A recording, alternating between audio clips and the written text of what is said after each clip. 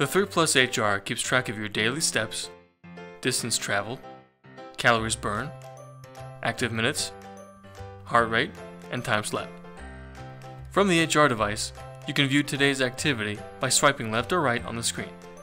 The different screens will display each of the individual tracking data being recorded. You can view more in-depth data from the 3 Plus Elite app. When you open the app, you'll see today's steps, calories, distance, active minutes, current heart rate, and sleep data from the progress bars.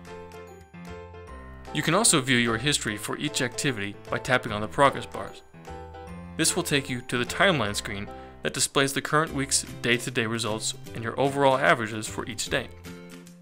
Tapping the arrows will change the weeks, so you can always go back to see your previous activity history. If you'd like a more broad view, you can see your monthly data by tapping on the calendar icon on the top right corner and selecting month. Tapping the arrows will change the month or week depending on which setting you're on.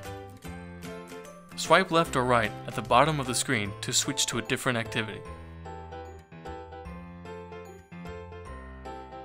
Make sure to keep tracking your activities daily to see how much you improve over time. For more information, visit us online at 3plususa.com.